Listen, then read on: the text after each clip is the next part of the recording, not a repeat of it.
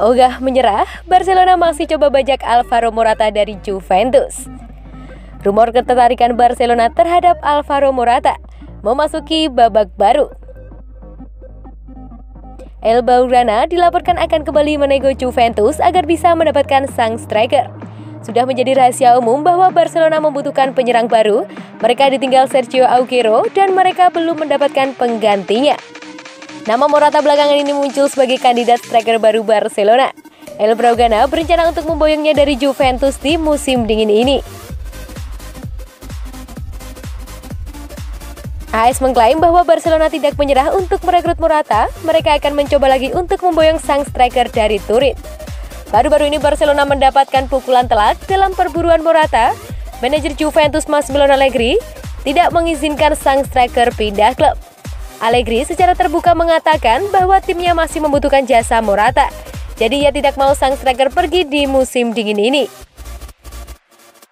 Allegri dilaporkan sudah meminta kepada manajemen Juventus untuk melakukan segala cara agar Morata tidak membelot ke Camp Nou. Laporan AS mengklaim bahwa pernyataan Allegri itu tidak membuat Barcelona keder. Sinyonya tua dilaporkan bakal tetap melancarkan rencana mereka merekrut Morata.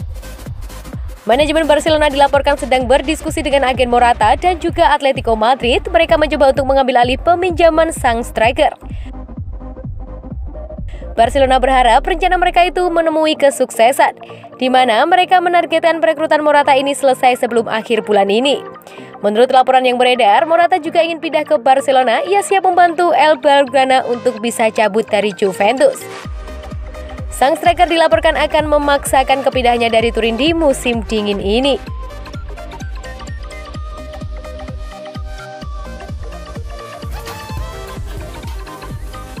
Arsenal mulai serius transfer Arthur Melo dari Juventus. Sebuah gosip baru beredar mengenai perburuan gelandang Arsenal. The Gunners dilaporkan kini mulai serius mempertimbangkan untuk merekrut Arthur Melo dari Juventus.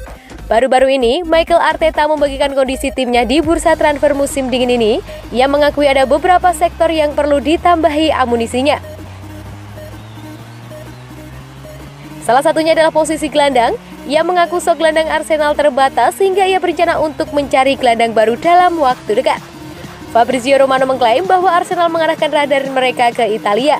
Mereka berencana merekrut Arthur Melo dari Juventus. Menurut laporan tersebut, ada alasan mengapa Arteta mengincar jasa Arthur, karena ia menyukai gaya bermain sang gelandang. Pemain asal Brasil itu dinilai cocok dengan skema permainannya, sehingga ia dirasa bisa menambahi kebutuhan gelandang Arsenal.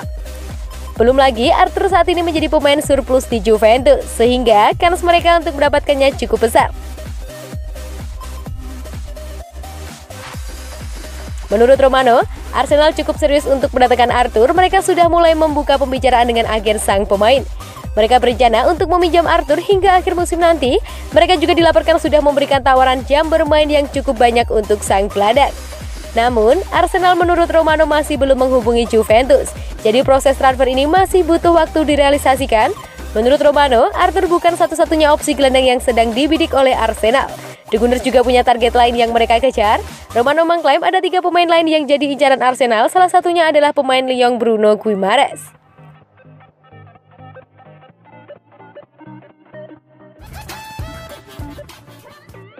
Morata frustasi proses transfernya ke Barcelona tak ada kemajuan. Menurut kabar yang dilansir dari Dario AS menyebutkan bahwa Alvaro Morata ingin meninggalkan Atletico Madrid dan Juventus untuk bergabung dengan Barcelona. Akan tetapi faktanya ia masih belum merampungkan kepindahannya tersebut yang membuat dirinya frustasi. Meski ia masih menjadi starter bersama Sinyonya tua.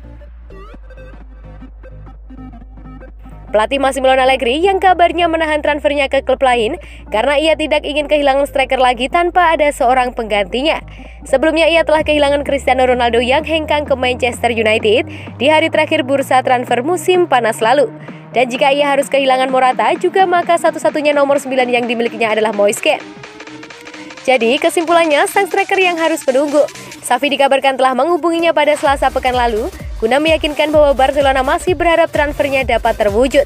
Namun, mereka juga harus menciptakan kondisi keuangan yang dapat mendukung dengan melepas beberapa pemain yang tidak dibutuhkan guna mendatangkan tambahan pemain baru. Artinya, raksasa catalan tersebut harus melakukannya tanpa kehadiran sang striker. dan masih menggantungkan kepada Luke De Jong dan Ferran Jutgla untuk pemimpin lini serang mereka saat ini. Sedangkan Memphis Depay, Ansu Fati, dan Ferran Torres sedang berjuang memulihkan kebugaran mereka.